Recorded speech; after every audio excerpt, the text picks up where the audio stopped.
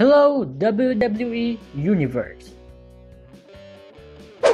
Sebelumnya, perkenalkan nama saya terlebih dahulu. Nama saya Deva. Saya di sini bertugas sebagai editor dari video-video yang sebelumnya sudah kalian tonton.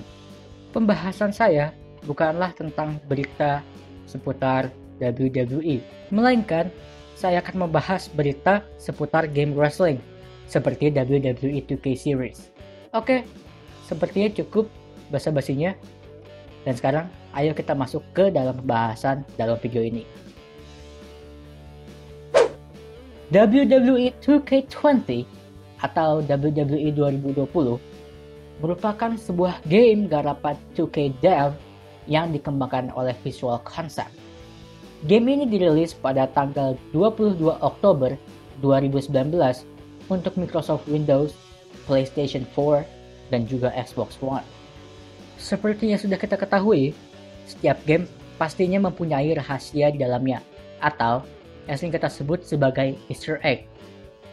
Game WWE 2K20 ini pun juga memiliki Easter egg di dalamnya. Rahasia yang akan saya bahas ini didapat dalam suatu mode di dalam game ini. Mode tersebut bernama My Career Mode. Mode ini merupakan sebuah mode cerita yang menceritakan kisah sepasang teman sejati yang merupakan karakter buatan kita, yaitu Trey dan Brad, dalam perjalanan mereka untuk menjadi WWE Hall of Famer. Cerita mereka itu dimulai ketika mereka sedang duduk di bangku SMA. Pada saat itu, mereka sedang membuat list yang berisikan tentang berbagai hal yang akan mereka capai ketika mereka sudah menjadi pegulat. Isi dari list tersebut seperti memenangkan title, bertanding melawan Lita, mendapatkan earn milik Undertaker, dan lain sebagainya.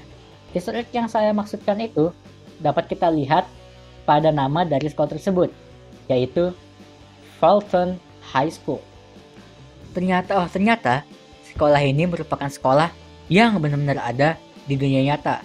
Yang menarik adalah kepala sekolah dari SMA ini, yaitu Muhammad Hasan, mantan pegulat WWE.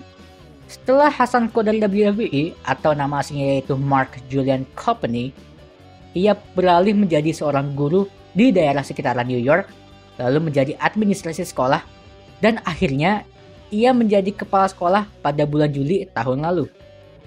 Walaupun Hasan tidak disebutkan di dalam game sebagai kepala sekolah, hal ini tetap saja menjadi salah satu easter egg dalam game ini yang cukup keren. Sekian pembahasan saya dalam video kali ini.